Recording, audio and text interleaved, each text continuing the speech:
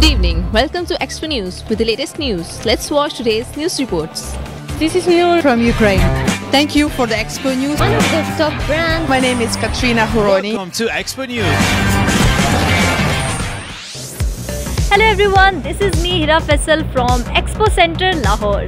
Viewers, today we are at Park Plus Expo, so let's see what's happening. Government आपको facilitate करेगी आप तजावीज़ के साथ आएँ सो डैट के आ, पंजाब के अंदर और पाकिस्तान के अंदर बेहतर अंदाज में जो प्लास्टिक की मसनूआत हैं प्रोडक्ट हैं उनको बेहतर अंदाज में हम कर सकें मीडियम और स्मॉल साइज़ बिज़नेस हैं उनको प्रमोट करें क्योंकि ये जॉब क्रिएट करते हैं प्रॉस्पेरिटी मुल्क में लाते हैं टैक्स देते हैं जिससे मुल्क का निज़ाम चलता है सर काइंडली हमारे व्यूअर्स को अपनी कंपनी के बारे में कुछ बताएँ।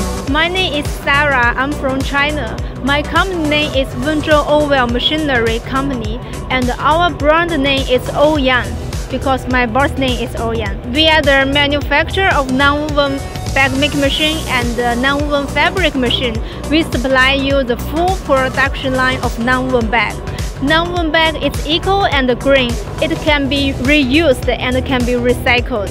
जो आजकल प्लास्टिक पे पाबंदी लगी हुई है ना उनकी उनका नेमो बदल ये नॉन मूवमेंट बैग आए हैं ये मॉल दोस्त भी हैं और ये जो है ना तलील हो जाते हैं बैग इस्तेमाल के बाद इनकी ये खसूसियात है क्योंकि प्लास्टिक का बैग वो बीमारियाँ फैलाता है ये बीमारी नहीं फैलाता है प्लान हमने मुल्तान में लगाया हुआ किसी किस्म का भी बैग चाहिए होगा नॉन मूवमेंट का मुल्तान में हम हर टाइम हाज़िर होते हैं ये बैग आपको मुल्तान से हर वक्त मिल सकते हैं